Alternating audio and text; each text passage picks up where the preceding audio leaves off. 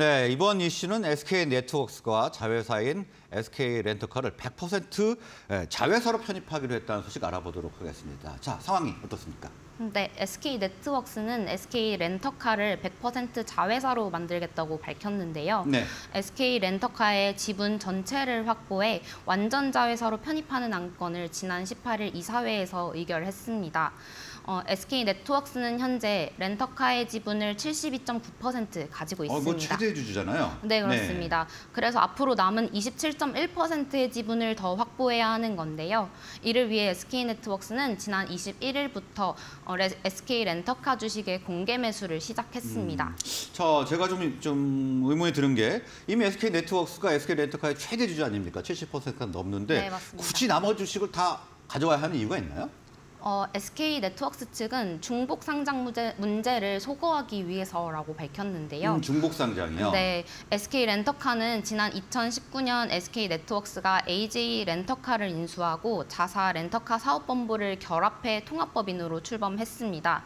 이 과정에서 SK 렌터카의 지분 72.9%를 보유하게 되면서 SK 네트워크스와 SK 렌터카가 중복 상장이라는 음. 짐을 떠안게 됐습니다. 네. 주주들 사이에서는 중복 투자나 주주 가치 훼손 등에 대한 문제가 제기되기도 했는데요.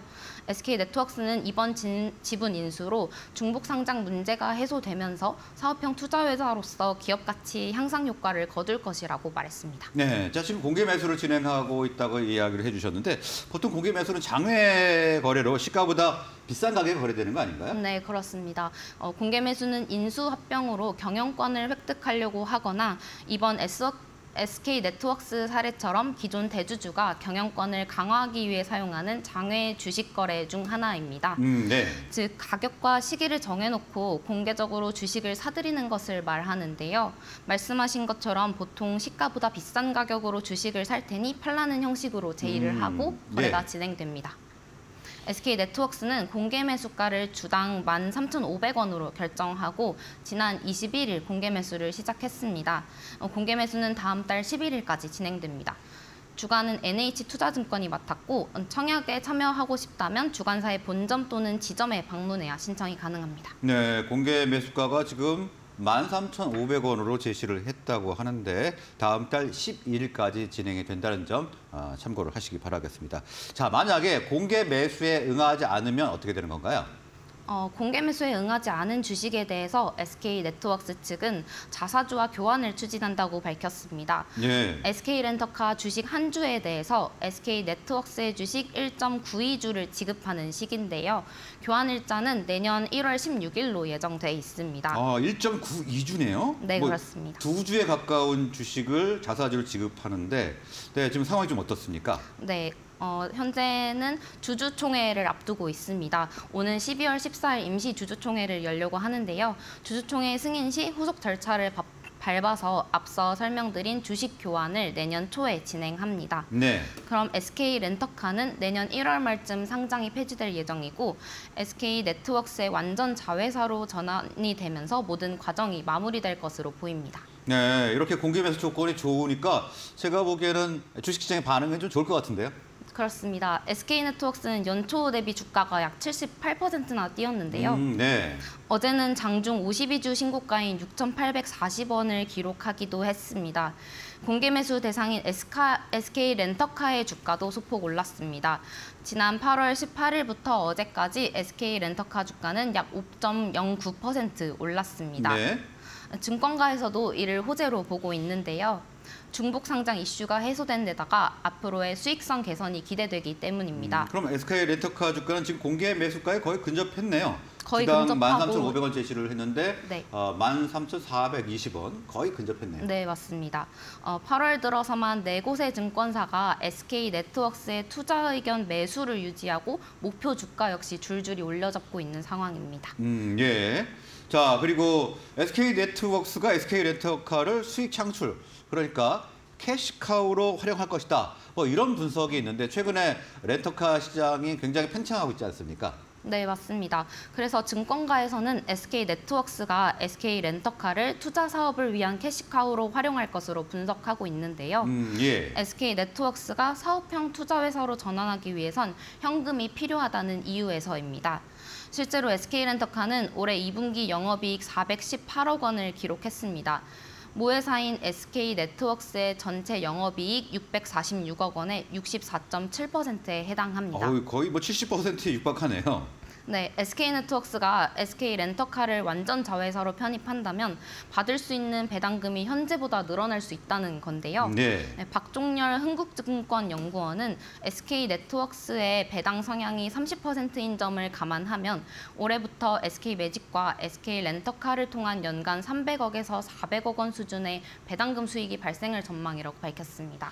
네, 이런 걸 노리고 지금 어, 저 공개 매수를 진행하고 있는 것 같은데, 자 그러면 신용 등급에 대한 우려는 없으니까 뭐 하향 이야기도 나올 것 같은데요. 어, 그럴 것으로 예측이 나오긴 했었지만 나이스 신용평가와 한국 신용평가는 이번 이슈가 신용도에 미치는 영향은 제한적이라고 평가를 아 했습니다. 그런가요? 네. 네, 다만 나신평은 공개 매수로 인해서 SK 네트워크스의 재무적 융통성이 저하될 수 있다고 하는데요. 했는데요. SK 렌터카의 기존 주주들이 100% 공개 매수에 응하게 되면 네트워크스는 최대 1,473억 원 규모의 자금이 소요될 수 있기 때문입니다. 예. 어, 한신평은 자금 유출 규모가 크지 않을 것으로 예측했습니다. 공개 매수 과정에서 자금 소요는 발생할 수 있지만 SK 렌터카 주주가 SK 네트워크스 보유 자사주와 교환에 응하는 경우 실질적인 행사, 행사 규모는 1,473억 원보다 작을 것으로 예상되기 때문입니다. 네, 일단 신용도에는 큰 영향을 미치지 않을 것이다. 이렇게 지금 어, 뭐 결론을 내린 상태 같은데, 자 롯데렌터카는 어떻게 보고 있습니까? 롯데 SK 렌터카의 경우에는 아 제가 롯데 렌터카를 네. 말씀드렸죠. SK렌터카는 어떻습니까? 네. SK 렌터카는 비상장 회사 전환이 부정적 요인이 될 수 있다고 나신평에서 지적을 했었는데요. 네. 어, 비상장 회사로 전환되면 신주 발행을 통한 자본 확충이 좀 어려워질 수 있습니다. 이러한 점은 다소 부정적인 요인으로 작용을 할 수 있을 것으로 보이고요. 한신평 역시 사업 방향과 어, 배당 정책에 대해서 모니터링이 필요하다고 분석을 했습니다. 네, 자 SK렌터카의 비상장 회사 전환은 조금 부정적일 수 있다 이렇게 이야기를 했다고 하고, 자 마지막으로 앞으로 사업 방향은 어떻게 나갈까요? 네, SK 네트워크스는 사업형 투자 회사로서 비즈니스를 이어나갈 전망인데요. 지난 2021년 SK 네트워크스는 기존 종합 상사의 영역을 벗어나 사업형 투자사로 전환을 선언했습니다. 어, 성장성 높은 미래 기술에 투자하고 이를 활용해 기존 사업을 고도화하겠다는 것인데요. 실제로 SK 네트웍스는 지난 2018년 마켓컬리를 시작으로 현재까지 국내외 스타트업에 2,500억 원 이상의 지분을 투자를 집행했습니다. 어, 지난해에는 전기차 완속 충전기 업체인 에버온에 100억 원을 투자했습니다. 또 SK 일렉링크를 인수하기도 하면서 전기차 충전 업체에 활발히 투자해 왔는데요. 이를 통해 SK 네트웍스는 SK 렌터카를 모빌리티 서비스 기업으로 성장시켜 전기차 충전 전기차 충전 시장을 음. 공략할 것으로 보입니다. 네, 전기차 충전 시장에도 이제 진출할 새로운 사업으로 진출할 예정인데, 자 SK 네트워크스가 SK 렌터카를 자회 완전 자회사로 편입시켜서 어, 앞으로 신사업을 추진한다는 내용에 대한 알아봤습니다. 자 오늘 말씀은 여기까지 듣도록 하겠습니다. 고맙습니다. 감사합니다.